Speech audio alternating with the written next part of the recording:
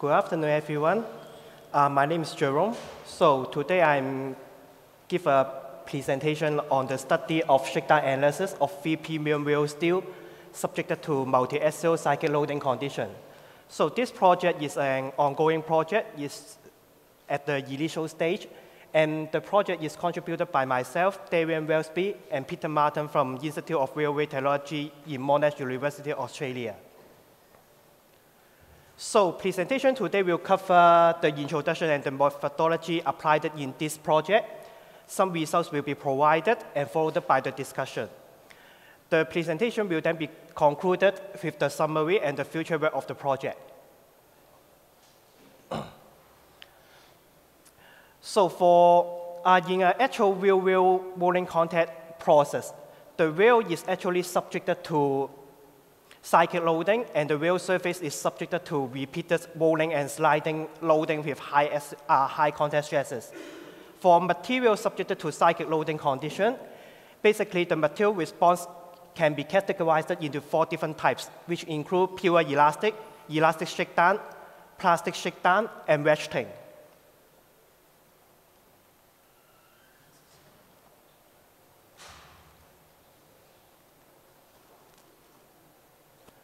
So in the last century, a theoretical tool, uh, a theoretical tool known as shakedown map was developed to, uh, to predict the material response in a body which is subjected to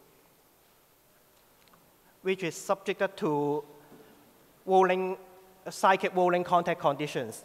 So this shakedown map was developed based on the shakedown theorems, Hertzian contact theory, and also with the assumption of full slip conditions.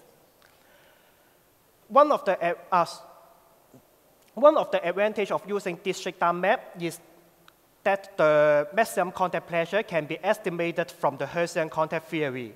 So no requirement of either experimental or numerical results is required. So due to this convenience, this method has been widely applied in the railway industry to predict the likelihood of damage on rail. However, there is still a drawback of using this shakedown map. Um, the prediction of material response from the shakedown map is not directly related to any variations in material ductility and ratcheting behavior of the material, which has been found to play a, an important role on, uh, on initiating rolling contact fatigue damage on the rail. So for the rail subjected to wheel-wheel cyclic rolling contact, ratcheting occurs when the stress level, uh, when, when the resulting stress level higher than the plastic shakedown limit. So this means that non-zero net plastic deformation will occur and accumulate in every single loading cycle. When the ratcheting string exceeds the, the limit of the real material, it will fail resulting in the initiation of real degradation, such as rolling contact fatigue cracks. So as shown in this, these three figures here, for different wheel steel grade, there are the surface crack uh, characteristic varies between different wheel steel grade. So this is due to the differences in chemical composition, in particular carbon content, different ductility, and also different ratcheting behavior of the wheel material. So the ratcheting behavior of the material is, actually, is strongly governed by the, uh, by the cyclic deformation characteristic. So generally, there are three different types of cyclic deformation characteristic, which include the cyclic hardening, cyclic stable, and cyclic softening. For a material with the cyclic hardening characteristic, uh, it, has the uh, it has an increased resistance to plastic deformation. In contrast, for materials uh, with the cyclic softening characteristic, it has the reduced resistance to plastic deformation. So the methodology I, uh, we, we applied in this project is the numerical method. So it is used to it is applied to estimate the uh, material response under different combination of normal and shear stress amplitude in the multi-axial loading condition. At this stage, we consider the elliptical loading path, which is, best, which is considered to best represent the real-wheel contact condition. So two different loading conditions for the elliptical loading path were considered. The first one is the asymmetric compressive loading with symmetric shear loading. The other one is the asymmetric tensile compressive loading with symmetric shear loading. So the second one is actually representing the presence of the res uh, residual stress in the railhead. So the constitutive material model applied in this model to simulate the resting behavior of the material was developed in our previous study. So this constitutive material model can, satis can, can satisfactorily simulate and capture the, uh, both uniaxial and biaxial resting behavior of, the, of three pearlitic real steels.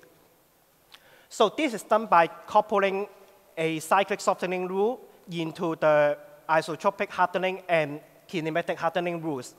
Therefore, the effect of the loading history and the non-proportional loading paths can be captured. So this model has, also, has already been validated in our previous study. So three premium rail steel, which are currently used in Australian heavy haul railway industry, uh, were considered in our study.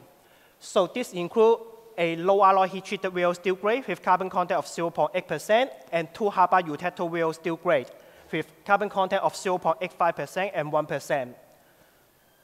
So the material parameters for all these three rail steel were calibrated from the experimental results obtained from the monotonic tensile test, uniaxial cyclic loading test, and by biaxial cyclic loading tests. So to distinguish the material response obtained from the numerical analysis, uh, these criteria were applied, which in terms of the plastic strain, plastic strain rate, and also the energy, energy obtained in the stress strain curve. So here shows the result uh, for all three steel uh, under the loading condition one. The, for all the graphs here, the y-axis is the normal stress normalized by the cyclic yield strength of the rail material, while the x-axis is the uh, stress amplitude normalized by the cyclic shear yield strength. Different color corresponds to different material response. The green one is the elastic response, blue one is the elastic shakedown response, yellow and, uh, yellow and red one is the plastic shakedown and the ratcheting response. So from the result, we can see that the normalized normal and shear stress levels for the resulting ratcheting response varies between different rail steels. So among all these three rail steel, we can see that the HE2 rail steel, which is, which is a hypereutectoid rail steel grade, but with a relatively lower carbon content, has the highest shear and normal stress limit for resulting ratcheting response. In contrast, the HE1 steel, which is also a hypereutectoid rail steel grade, but with a high higher carbon content of 1% has the lowest limit in shear.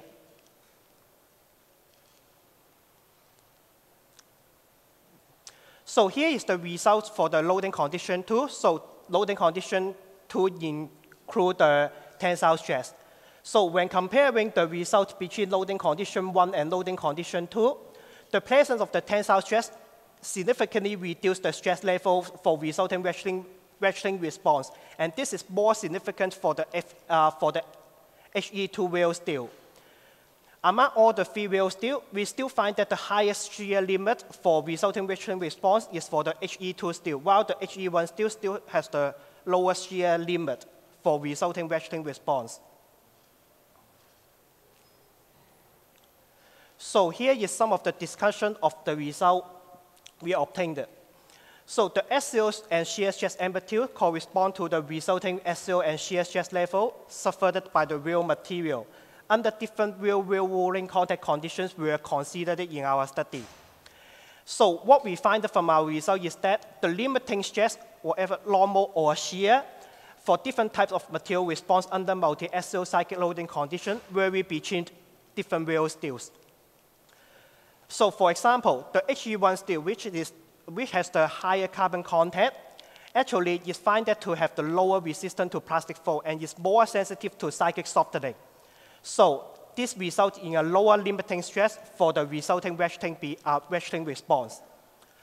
Also, uh, used to be looked at, the previous shakedown map we used it is using a standard carb, uh, is using a standard carbon rail steel. The material we consider in this study is all premium real steel. So both of, all of them have a finer pearlitic microstructure and higher carbon content in, than those used to validate the shakedown theory. So our conclusion is that we should we require a better understanding of the precise mechanical meaning and implication of the shakedown limit for the premium real steel we are currently using in heavy haul railway operations. Also, from the practical point of view, so in heavy haul operation, the resulting stress level is always higher than the shakedown limit for the raw material. So this means that ratcheting is always occurs. And so rolling contact fatigue is commonly found in the rail steel. So we can, uh, it has been looked at, there is variation between the railway steels in practice in terms of both crack characteristic and also the crack initiation life. For different rail steel, we may find the crack initiate, initiate in different periods, even though the check characteristic uh, annual tonnage are similar. So therefore, it is necessary for us to understand the performance of different rail steels. So to do this, we need to take into consideration of the crack initiation life or damage prediction in the shakedown analysis. So the overall outcome of this project can then provide useful information for the selection of rail steels and the development of effective prevent, uh, preventative grinding strategy for the railway operators. So to summarize my presentation, the, the material response of three premium rail steels was numerically simulated under different loading conditions the response of all three rail steels was strongly dependent on the relative of both normalized axial and shear stress levels. The limiting stress for different types of material response under multi-axial cyclic loading conditions vary between different rail steels. Also, the presence of the residual stress reduced the limiting stress level for the resulting ratcheting response. So, as I mentioned that this project is an ongoing project. So some of our future work includes to examine the correlation between different real-world contact conditions and the resulting stress level on, on these premium rail steels. Also to investigate the correlations between different material parameters, in particular the ductility and crack initiation life for improved rolling contact fatigue prediction. So here is the acknowledgement, and I would like to acknowledge the help from Southwest Jiaotong University for the development of the material model during my PhD study. And this comes to the end of my presentation. Thank you.